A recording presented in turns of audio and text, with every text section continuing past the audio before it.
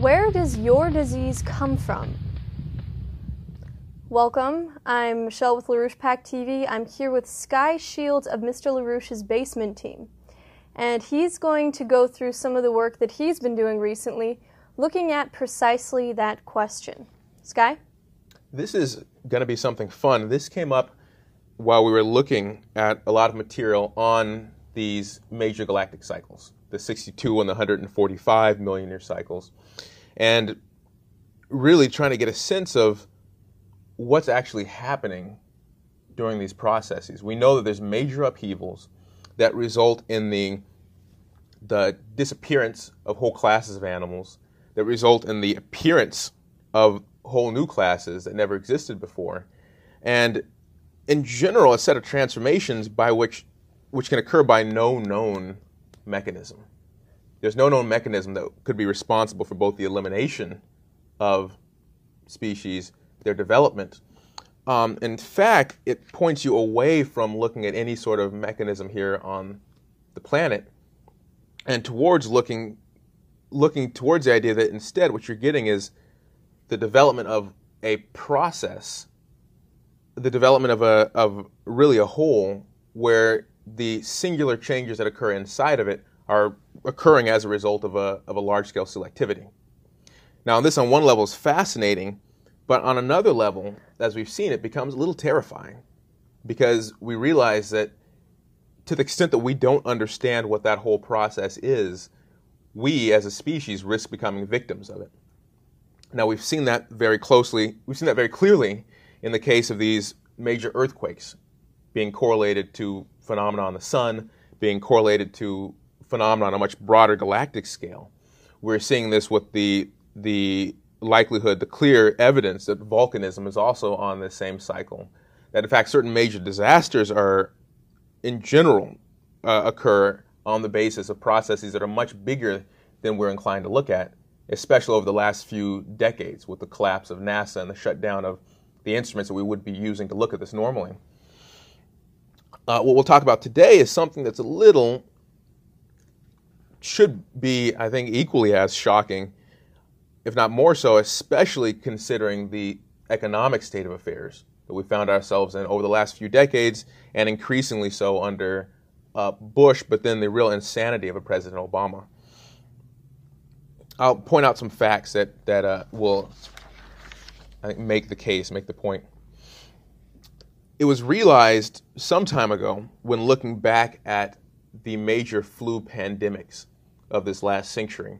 That is, we know there's a flu that we're all familiar with, the seasonal flu, that occurs largely as you're moving, the season changes, moving through fall into winter. Uh, and that is something that tends to be local because seasons are a local phenomenon you don't have the when it's summer in the northern hemisphere, it's winter in the, the southern hemisphere. But then you also have flu pandemics, which are cases like the 1918 flu, where you see the entire planet gripped by a flu epidemic. But if you look back at the major dates of these, look at the second half of the 20th century. The major flu epidemics were in 1946, 1957, 1968, and 1977. Now, a number of people looking at that realized that there seemed to be a roughly 11 year gap between those, those flu pandemics, those global pandemics. Um, there was also one in 99. That immediately made people think realize what we've been looking at as a movement and at various times on this website over the past the past uh, few weeks or so that, that that matches up with the 11 year cycle that we know governs solar activity the 11 year cycle of of from solar minimum to solar maximum in fact if you match if you take those major flu pandemics and you line them up on a chart of solar minimum, solar maximum, the, the minimum maximum of solar radiation, you get a very nice correlation, as you can see right here. If you decide to look further back, and you look back, say, prior to 1940, prior to, prior to 1940, we had to use a different method of measuring solar activity. We didn't have an exact means of measuring solar radiation reaching the Earth, but we did have the ability to count sunspots. Now, sunspots work as a really good proxy for solar radiation, for solar activity. If you take the sunspot records going back to 1700 and now plot all of the major global pandemics against the sunspot record, this was done in 2000 in a, uh, uh, a paper by three Canadian researchers, Tapping, Mathias, and Surkan. If you map that against the flu pandemics, you don't see the same one to one correlation at first. You don't see an exact correlation necessarily between the peaks of the individual 11 year cycles and the pandemics themselves. But if you take a curve and connect the peaks of all of those cycles, you see that in the places where you've got the periods of the most intense 11 year cycles, you do in fact see a clustering of these global pandemic flus. Now, this is something that should be a little shocking. Again, at first interesting, but then a little disturbing when you start to think about what this really means. And you start to try to figure out, you know, what could be driving a process like this. It, it is very provoking because we typically think of of disease epidemics as something that you can't you can't know when it's going to happen. It strikes suddenly. It's a random event. Right. And it's you know it's a random natural event. So there's nothing that you can do about it. There's nothing you can do to prevent it. Right. And we've discussed before. This is that is the the conception that's meant to be that's promoted in the population. This is the policy of the Olympian Zeus. You create a sense in the population that you can't really forecast disease outbreaks. You can't forecast earthquakes. You can't forecast volcanic eruptions. You can't forecast major crises. You can't forecast economic crises, even. Because if you get a population to believe all of that, you've got a population that's easy to control. But right now, we, with this, you do see that you've got a phenomenon that's much larger than we've thought heretofore, but is also potentially much more knowable, much more capable of being acted upon if we're willing to begin to act like human beings and take some control over it. Should we take a look at what an what an epidemic actually looks like? Yeah, right.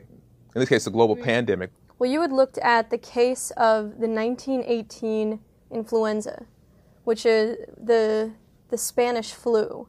It's well known as one of the greatest pandemics in the history of the planet. Mm-hmm. And we have a short video presentation that can go through some of the facts and then we'll get back to to it in a minute. It was the fall of 1917 when the global pandemic known as the Spanish flu broke out in the United States, Europe, Africa, Asia, Brazil, and the South Pacific. In what is now known as one of the most devastating epidemics in world history. Before the great influenza of 1918 had passed, it would take more lives than World War I, some 20 to 40 million people. The disease struck suddenly, killed quickly, and left the survivors unable to bury the quickly piling bodies of the dead, with great shortages of coffins, morticians, and gravediggers. It infected 28% of all Americans, and it killed an estimated 675,000 of them, with 10 times as many victims in the United States as the Great War. In one anecdote, four women were playing bridge together late into the night. But overnight, three of the women died from influenza, one by one.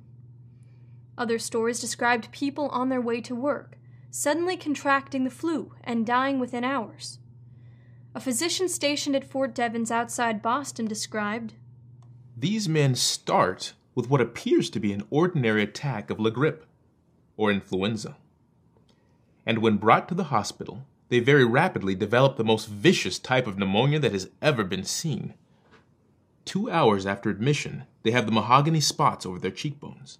And a few hours later, you can begin to see the cyanosis extending from their ears and spreading all over the face. It is only a matter of a few hours then until death comes. And it is simply a struggle for air until they suffocate. It is horrible. Another physician recalled that the patients died struggling to clear their airways of a blood tinged froth that sometimes gushed from their nose and mouth. Due to the high rates of mortality, including among medical professionals, workers were recruited from local businesses to fill their flagging ranks. To try avoiding spreading the disease, the government implemented emergency measures, distributing gauze masks that had no hope of effectiveness and limiting funerals to 15 minutes. In all, the Spanish flu was to rival the Black Death of the Middle Ages with its bubonic plague in its scope and effects. No one, neither the wealthy nor the poor, the young nor old, were exempt from its terrible wrath. Reflecting on this most horrible year, the Journal of the American Medical Association in 1918 reported 1918 has gone a year momentous as the termination of the most cruel war in the annals of the human race, a year which marked the end, at least for a time, of man's destruction of man. Unfortunately, a year in which developed a most fatal infectious disease, causing the death of hundreds of thousands of human beings. Medical science for four and one half years devoted itself to putting men on the firing line and keeping them there. Now it must turn with its whole might to combating the greatest enemy of all infectious disease. Now, this, people should get the sense that this is something, this is not a simple question of a little bit of sneezing. When you're talking about a global pandemic disease, you're talking about something that's actually quite horrific. I mean, you get a sense that it was during this period of time, people were dying too quickly to even take clear records of it. You find maps of where the disease outbreak took place. Those are reconstructions long after the fact because cities were too decimated to send in any records to any central mm-hmm. authority. People have a real sense to what extent you had a real breakdown of government during this period. Uh, the extent to which you were able to have government managing to try and manage things, a lot of it was disastrous. The the advice to wear masks to try to ward off the flu was absolutely useless. It had no effect at all on on the the rates of spread of disease. In fact, it probably just lulled people into a sense of comfort. Mm-hmm. But this is something that's hideous. So it really does make you start to realize, well, how criminal it is. You think of the the, the stupidity of the argument that's often used against NASA. Think of the stupidity of the argument that's used against um, manned spaceflight in general that we shouldn't be solving problems out there because we've got so many problems down here. And you say, well, look, you idiot, you're not going to solve the problems you've got down here because they're being caused by phenomena that are out there. The source of what you're looking at here on the on the earth, the source of your problems here are much larger than than than you can than much larger than the field of view that you're giving yourself to to operate within. And this is the same, it's it's sort of a, a policy expression of the dependency of the human species on sense perception. That if you can't see it, it must not exist. But as a result, then you are buffeted and you are destroyed and often crushed. Whole civilizations are crushed by forces which you can't see because they're not visible to sense perception. Sometimes that's what's called being practical. Yeah, I think so, exactly. Practical politics. Right. Oh, I'm being practical. I'm dealing with what's in my immediate environment. Mm-hmm. You know, it's an easy ticket to try to sell. Right. But that was that was one of the lines that was used to take down our space program. Was the argument that we're spending so much money out there, why don't we spend the money here to solve disease and poverty here on Earth? But as you're saying, that's exactly the opposite approach. Right. And we see what the result has been. The result has been a, a steady increase in disease, an increase in poverty. And a lot of the worst developments are happening underneath the surface if you take a look at what's gone on over the last few decades, you start to realize that we're actually in a much worse position to be able to deal with a global pandemic now than we were even at the, the, the case of the 1918 flu. In the 1918 flu, we found ourselves in a really bad situation because of this idiotic war that President Wilson had gotten us into at that time, World War One. You know, we had we didn't have the medical personnel that were required. A lot of our uh, you know, these were sent overseas. Uh, a lot of our attention during the first outbreak was just not directed at the flu itself. It was directed at other at the the, the war and other concerns. We were caught unawares. But look at where we stand right now. Right now, we're in the middle of the biggest economic collapse in human history. You take a look at what's gone on over the last the last couple of years or so. I mean, take a look at we've used California as the example. Look at what we've been steadily cutting emergency services as an expense. We've been cutting fire. We've been cutting police. We've been we've got had this insane butchering of our healthcare system just recently in the name of saving money. It was pushed through by Obama and the controllers of Obama.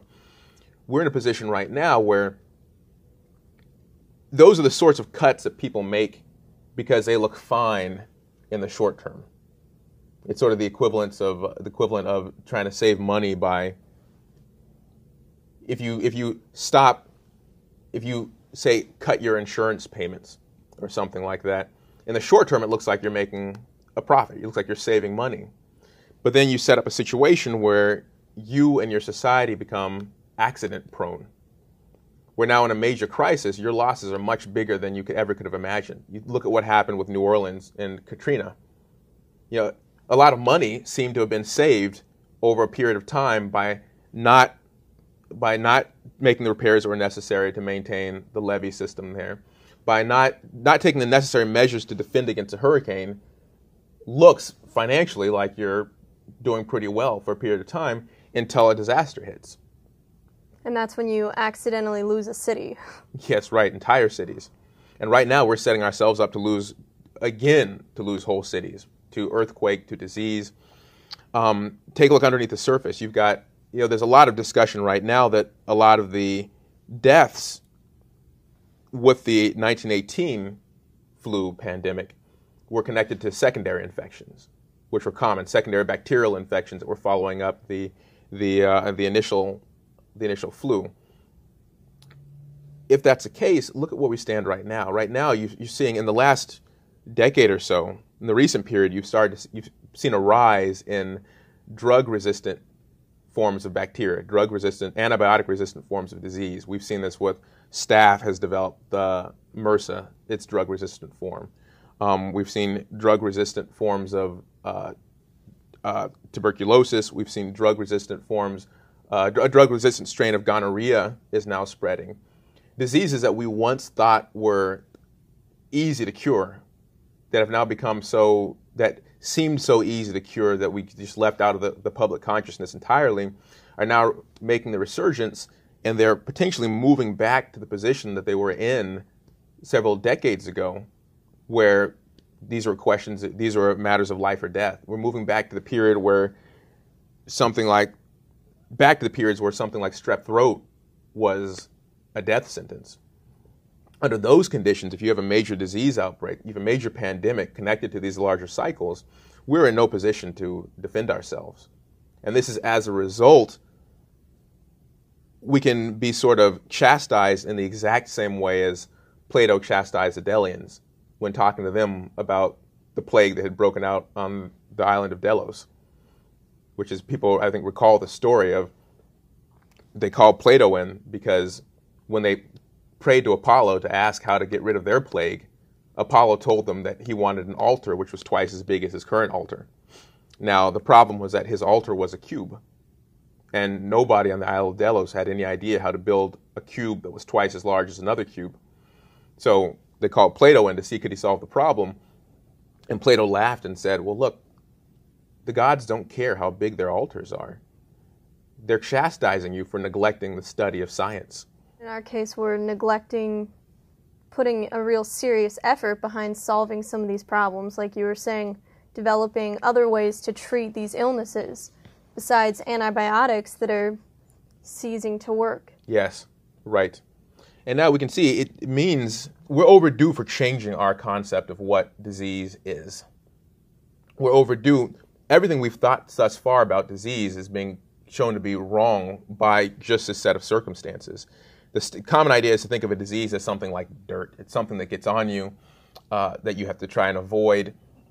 Or, at best, it's the Darwinian view that you have all these organisms competing for their own survival and just once in a while, one of us gets asked out. Either us or the virus is going to not make it. But in fact, you see a process that looks much more, much more complicated. We'll take, we looked at, the, we saw these solar correlations with the pandemic flu. Let's take a look at the seasonal flu. Now, this is something that we, the seasonal flu and then seasonal colds are something we've taken for granted. The idea that as you move into winter, you're more likely to catch cold and that you're going to move into a flu season, this is something we sort of just assume happens every year. The state of sort of common knowledge about it is expressed in the case of the cold in the name of the cold. We call it a cold, and many people believe that you catch cold by being in the cold. It's a name. Now, this is something that was famously disproven by Benjamin Franklin, who recognized that it takes a character like Ben Franklin to be able to recognize this, who writes that he's been multiple times on ships at sea in the freezing cold and in the rain, drenched, where nobody got sick, nobody caught cold. He writes that he knows that he swam, again, is only a Ben Franklin could write this, would swim back and forth through icy cold water, river waters. I forget if it was something like every morning he would swim through the icy cold river waters, and never catch cold. But he had frequently seen somebody who had a cold come into proximity of somebody else who had a cold, and then they themselves contracted it. So he concludes from this that colds are not caused by the cold, but they're in fact caused by the fact that this is something that is somehow contagious between people. That was a, a fight in early American history. Ah, okay. Where I think it was the Mathers who who were promoting vaccinations.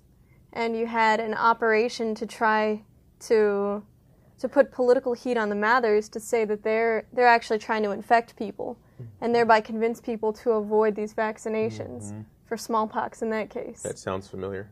Yeah. Right. No, so it's interesting. So, but then the question becomes, well, if it is something that's transmitted from person to person, why would that have anything to do with the, the seasons? And this is actually a big mystery. There's been a lot of effort put into trying to figure this out. Recently, there were a number of papers that came out trying to connect the spread of the flu to the humidity or other environmental factors that might change from season to season, trying to connect it to temperature. Uh, but then you get a number of problems. One is, even if that would tell you something about transmissibility, it doesn't tell you the other aspect, the more interesting part of the seasonality of the flu and a cold, is its mutation rate. We call the antigenic shifts of the, the virus. By the time the reason that you need a new flu shot every year is because by the time that flu returns, it's a different disease. So the question is, what causes that disease to transform on a seasonal scale? Uh, you would think that would mean that there would be a rapid rate of mutation of the virus during the infectious period. Because a virus, as we know, doesn't mutate except during replication. It doesn't behave as, as anything except during, during replication, which would mean that while it was being passed from person to person, you would anticipate that it would be transforming, changing itself. But when they studied the rates of mutation of the virus during the infectious period, the infectious season, they didn't find anything that corresponded to a rate of transformation that would, that would account for it being so distinct by the time it returned.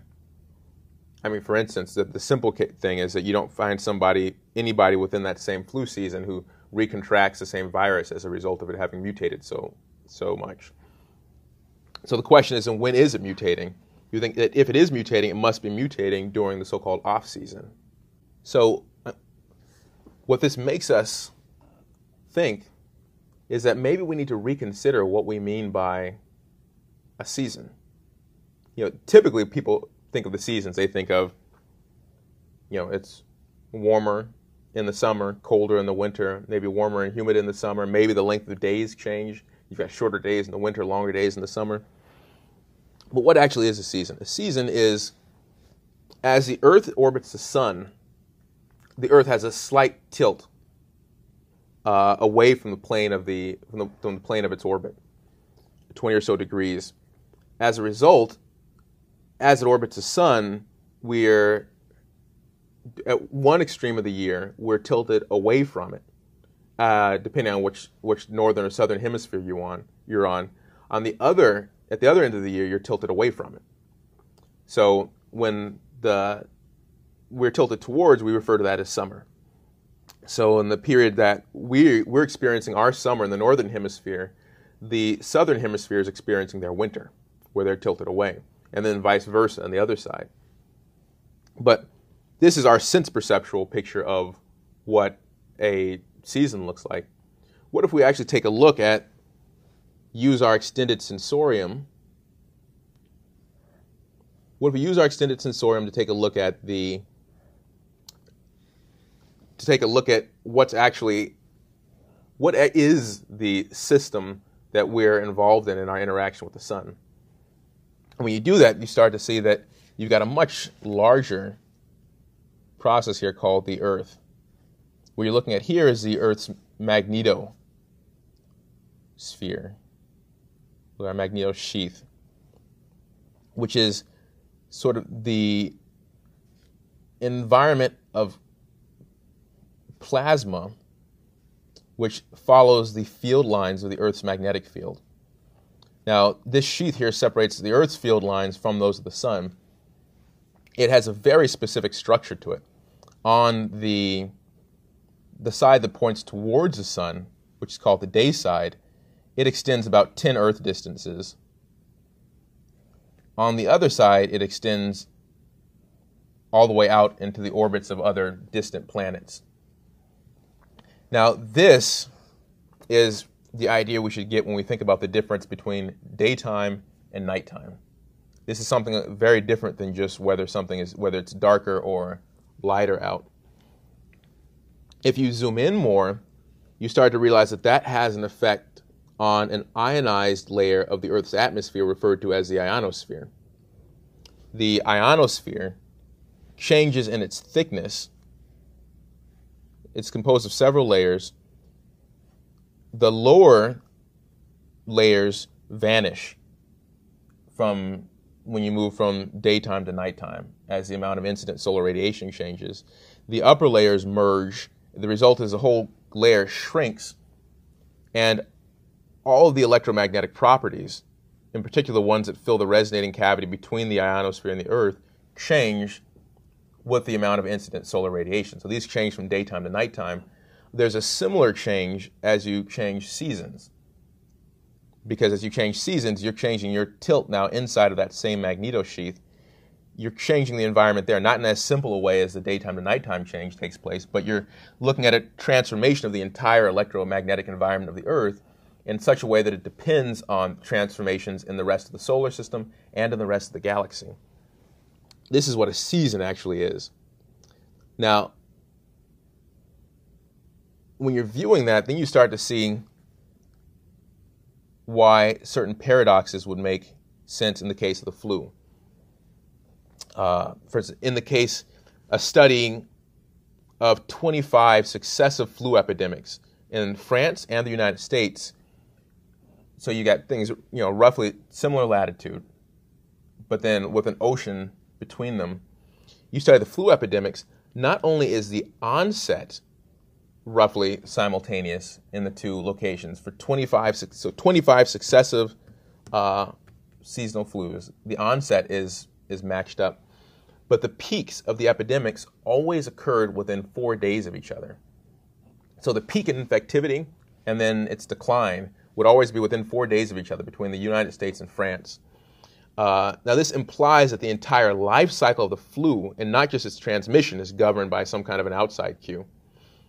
Uh, it's significant to point out that unlike what we see in some of these other cases of, of disease epidemics, the flu's disappearing isn't because you run out of victims. As we know from the flu passing through, it's not, it's not the case that everybody is sort of taken out as you would get with other diseases, which require would have to sort of ravage the whole population before they're taken out by the, the population's built up immunities. The flu leaves when it's time for it to leave.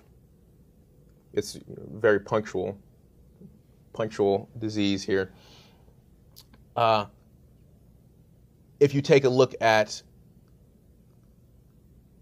the places like a, a, another recent study that was done in Great Britain, you would think that if the main source of spreading the flu was because of vectors, because of people traveling, or because of, of even other vectors, it was primarily bird or insect borne vectors that were spreading the disease, you would expect that you would see an increase of at least a change in infectivity in in the uh, the patterns of its. You would see a change in the disease patterns as you had the introduction of human flight, as you're suddenly able to move from continent to continent quicker throughout the country. But in a study of great of the disease spread in Great Britain, the epidemic patterns of the flu have not changed for over four centuries. Hmm. That's four centuries of transformation of, of motion, of the way of, of forms of travel. Nothing's changed about the way the flu, the flu spreads.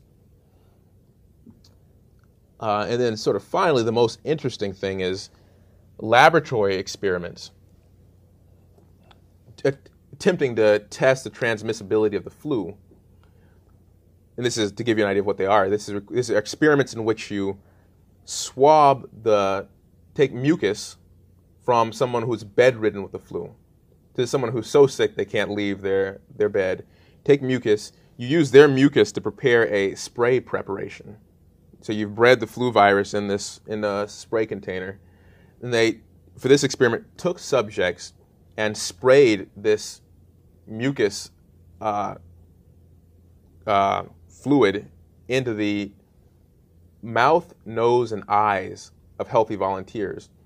And in the first run, nobody became sick from this spray. In the second run, I think they had some minor illness. Now that's significant. That tells you something about the even if the flu, even if some portion of the life cycle depends on person-to-person transmission, this is an, a part. This is a part of its life cycle. It's evidently not as important as whatever these larger scale seasonal, solar, and galactic phenomena are, play, are playing, their role is more significant in the spread of the flu. Um, so again, let's go back and take a look at what we've got with the the Earth now oscillating in this very complex electromagnetic environment between it and the sun. And you start to realize that, okay, well, these are processes that have significant biological effects that we've discussed before. Uh, but they make us think now back to what we've been discussing on the site with the 62 million year cycle and the 145 million year cycle. If you take a look at all these major extinction events, something that's often commented on is how peculiar the elimination of certain species is. That it's quite specific, that all attempts to try and use major disasters such as asteroids or volcanoes to account for the elimination of species runs into problems because of anything that should anything that was powerful enough to eliminate the dinosaurs most certainly should have eliminated amphibians. And this is not the case. The dinosaurs are wiped out completely to a one, but frogs and other amphibians make it through completely un, unscathed. You also have plants living through all of these extinction cycles when you would think if there was a big cloud of smoke enveloping the planet, choking these dinosaurs, that the plants who require oxygen uh, and require the sun to exist, that they would have died out also. Right, exactly. And it becomes very conspicuous when you realize to what extent the extinction cycle of plant life is on a is a completely different plants are on a completely different cycle than animals are. And you wonder what could be causing that, what could account for that? In general, plants are much less extremely hit than animals are during major the major extinctions. Uh, and then there's lately been noticed the very conspicuous survival of photosynthesizing ocean creatures during these major events. Hmm. So the question is, in, in a number of the extinction events, it's also significant that the selectivity is down to so specific that it will pick out only certain chemical compositions of skeletons out of the entire population and eliminate certain key skeletal compositions. it's a very precise phenomenon that's happening here. But then it's also connected with a very clear introduction of not just single new species, but whole new systems of interaction. So the question is what could account for that? Uh, there's good reason to think that at least a partial role would be played by viral diseases. Uh, bacterial also, but between the two of them, the one thing we know on the planet that has a capability of both very selectively eliminating creatures and selectively engineering creatures to have new traits and maintaining certain very specific symbioses are viruses. In fact, a number of major symbioses, if not the majority of major symbioses between organisms, are maintained by, by viral infections. We'll have a discussion soon on the site discussing the uh, photosynthetic sea slug, Elysia chlorotica, which is capable of entering into a symbiosis with, with uh, chloroplasts and algae on the basis of a viral infection. We'll be discussing a number of other very specific types of relations here that what we are witnessing from our standpoint over our short span of time is just simply deadly disease epidemics are likely the we're looking at just the outer edge, the outer fringe of a major bio, major biospheric transformations that we are capable of understanding and potentially controlling, but which if we do not understand and we do not control, we insist upon treating these things in a, a much more primitive way. Our primitive concept of, a, of and simple concept of disease, these are things which will wipe us out and potentially wipe out our entire species the way they'd wipe out any other animal species. Yeah, I think it's important to reiterate the point that not not jumping into this not jumping into these questions full bodied with a full frontal effort is a kind of a littleness that's going to get us killed. Right. In this period that we're that we're in this period of increased solar activity for the next two years, we're in uh, arguably a period of increased cosmic ray activity for the planet as a whole. And that's the kind of danger zone where, if it's the case that viruses are triggered by cosmic ray activity, then that's the period where you're going to be more in danger of having an, a pandemic. Right. Having something, having a mutation that could wipe out the entire species. And our response so far, the response of our insane president so far, has been to cut back the exactly the kind of instrumentation, exactly the kind of programs that would let us understand how these processes work, and instead, now we're not even paying any lip service to solving problems on the ground. There's no lip service even paid to stopping foreclosures, to saving the, the, the common man in the U.S., the average American citizen. Right now, there's no balls being made. There's no nobody's even hiding the fact that his entire agenda is making sure that a corrupt banking system is held together. That we're, he's creating the conditions where first the poor, then the whole population will be wiped out in major disasters and major epidemics. And then with such an intensity that we risk losing the entire species. At the very least, we risk losing civilization in any form that we would recognize it. And this should give us what we know now, looking at some of these major correlations, getting a sense of the role of not just the sun, but these much larger galactic processes, should give us the sense of what should our priorities actually be and how can we change gears to make sure that we survive this period ahead.